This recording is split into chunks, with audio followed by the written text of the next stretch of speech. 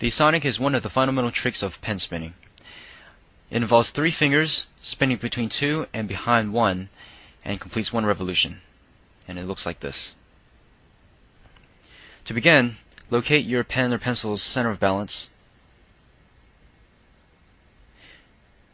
And then take your center of balance, place it between the middle finger and the ring finger, like this, at an angle.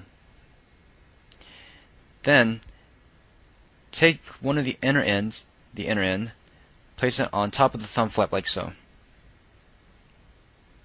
This is your starting position. Once you have the start position ready, you will begin to learn the pressure method. The pressure method begins by first taking your middle finger, pushing down and inward onto the pencil or pen, while keeping the ring finger stationary. While you're doing this, this will create a sl slight feeling of pressure onto the thumb flap right here. Once you have enough pressure built, and it should not be enough a lot of pressure, just enough to make the pen or pencil go, release by moving the thumb flap away. As soon as you do this, straighten your index finger and your ring finger and bring them close together. At the same exact time, you bring your middle finger in as such.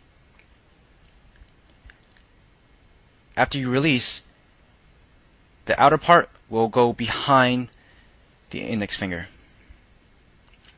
While keeping the index finger and the ring finger close together, you will create what is called the wall.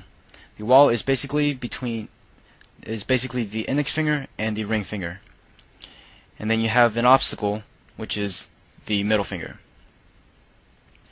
After releasing and creating the wall, the inner part of the pencil or pen will rotate around the obstacle. Once it has finished passing over,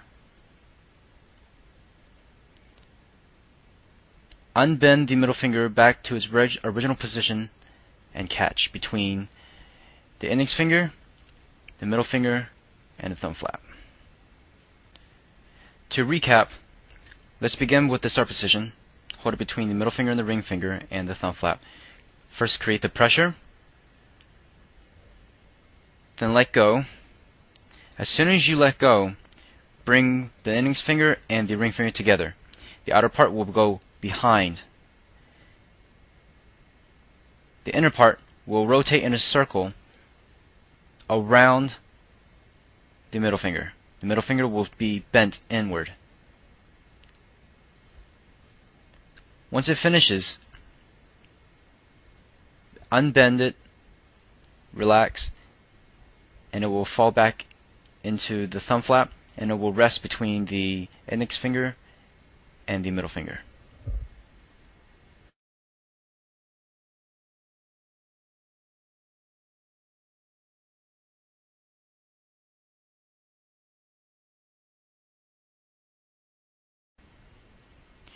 Remember, an important part of this trick to make it work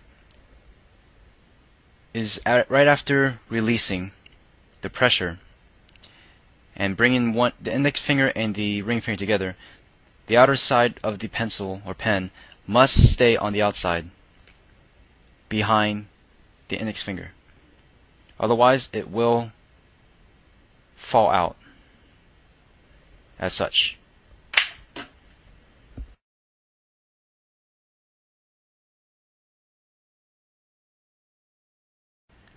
Once you have practiced enough, you should learn the non-pressure method. Essentially, it is placing the pen or pencil between the middle finger and the ring finger and not into the thumb flap and pulling the pen or pencil into a circular motion to create the sonic.